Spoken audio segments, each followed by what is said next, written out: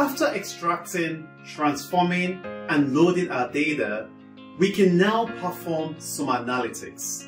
It's pretty exciting. This part of the course introduces you to the most basic type of analytics, descriptive analytics. Descriptive analytics is simply answering the question, what has happened?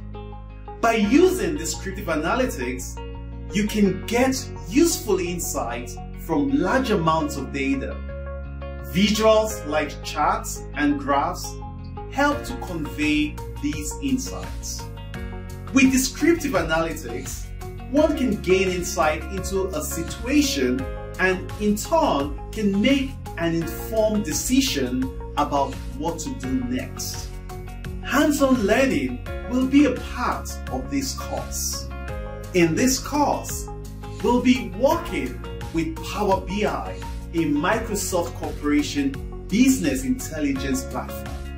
In this lesson, we'll learn how to use this software to summarize large amounts of data into meaningful and insightful charts.